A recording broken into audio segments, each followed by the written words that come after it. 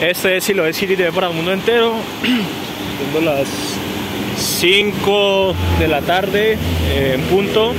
Este es el panorama que se vive aquí en eh, La Vorágine, más conocido como Pance. Y pues pudimos evidenciar que el caudal del río, pese a que en la montaña se observa que está lloviendo